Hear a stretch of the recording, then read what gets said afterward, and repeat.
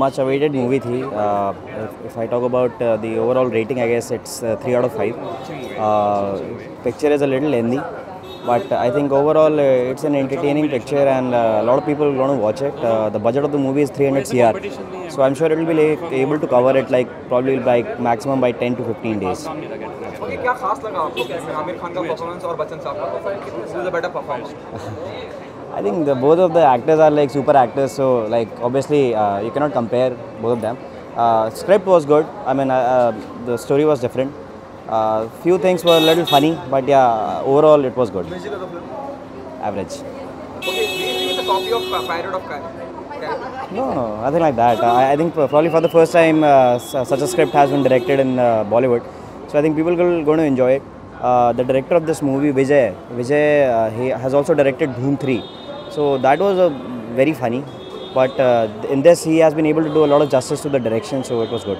Out of 5 star मैंने star Three, three out of five. So खास लगा आपको हिस्ट्री दिखाई गई है जो कि नॉर्मल ऑडियंस को अननोन है इसके बारे में तो हिस्ट्री के बारे में अच्छा लगा मुझे काफ़ी सब जान के आमिर खान और अमिताभ बच्चन कौन ज़्यादा अच्छा परफॉर्मर था सर अ, दोनों की अपनी अपनी स्टैंडिंग है तो मैं दोनों को कंपेयर नहीं कर सकता। म्यूज़िक के बारे में क्या कहना चाहिए ठीक है सही है फाइन कैटरीना और फातिमा सना शेख अच्छा एक्टिंग किया अच्छा रोल लगी कैटरीना या फातिमा फातिमा इस new actress so I will prefer है ओके कितने स्टार देना चाहेंगे पाँच में?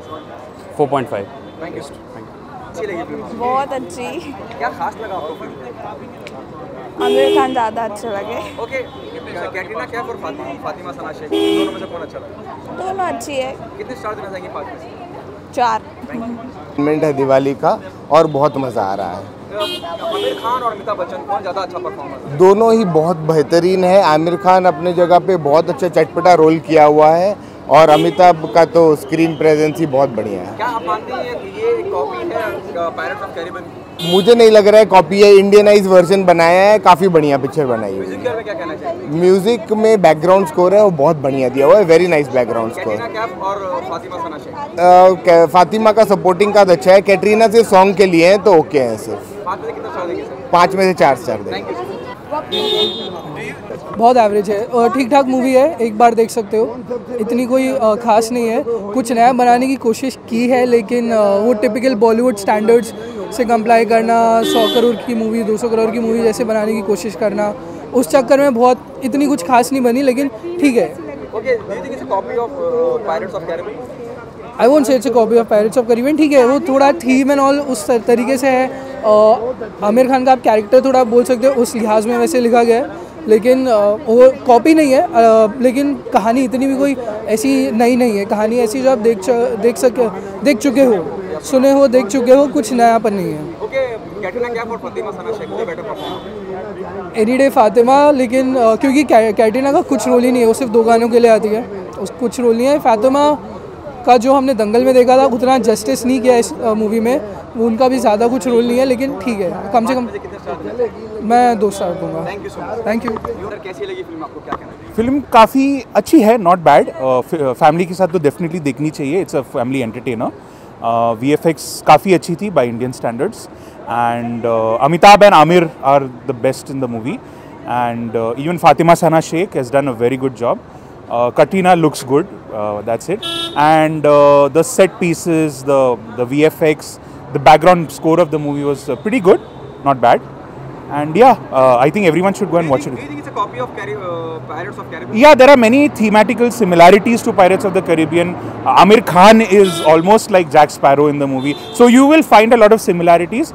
But I think at the end of the day, even if it's a copy, it's pretty good actually. You should watch it with the family. Uh, so I think, but at the end of the day, if you have a good product coming out at the end, अगर copy भी हो अच्छी होनी चाहिए and I think they have manage to do it with Okay, better performer, Bachchan or uh, Mr. Uh, Amir? That's a tough question. Uh, since my favorite is Amitabh Bachchan, I would obviously say Amitabh Bachchan, but both are equally good. Okay, how many stars you want to give out of five? Three or three and a half at Thank first. you so much. Thank you. Amitabh Bachchan इनका नहीं है। अच्छा, अच्छा, है।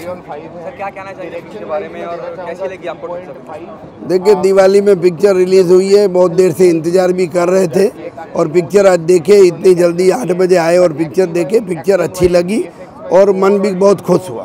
आमिर खान ज़्यादा अच्छे रहे हैं या बच्चन साहब? बच, बच्चन साहब के सामने कोई भी अच्छा नहीं हो सकता है। आमिर खान नो डाउट बहुत अच्छा रोल किया है लेकिन बच्चन साहब के सामने तो उनको फीका ही लगेंगे। क्या पायरेट्स ऑफ़ कैरिबियन की याद दिलाती है नहीं मामूली मामूली।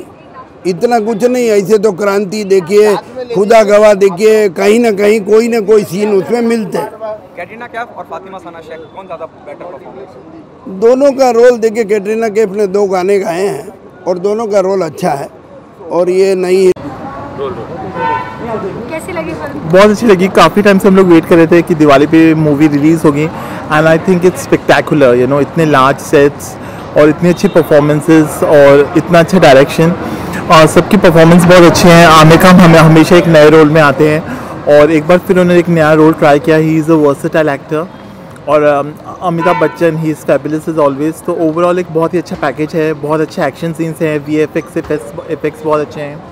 तो um, बहुत इन्जॉय करेंगे ऑडियंस डायरेक्शन की बात की जाए तो जी। जी विजय कृष्ण आचार्य का डायरेक्शन है और काफ़ी अच्छा है। मुझे ऐसे लगा कि मैंने एक कोई क्लासिक बॉलीवुड मूवी देखी है। सॉरी हॉलीवुड मूवी देखी है। जिस तरह मज़ा एक हॉलीवुड मूवी देख के आता है वैसे ही मज़ा आया। Screenplay cinematography everything is amazing बहुत ही विट्टी डायलॉग्स हैं. म्यूज़िक बहुत अच्छा है. So like I said overall एक बहुत ही अच्छा पैकेज है. अजय अतुल का म्यूज़िक बहुत अच्छा है जो धड़क मूवी के लिए जाने जाते हैं. और अ, गाने सब बहुत अच्छे हैं. So overall it's a very good movie मज़ा आएगा ऑडियंस इसको. आमिर की करें तो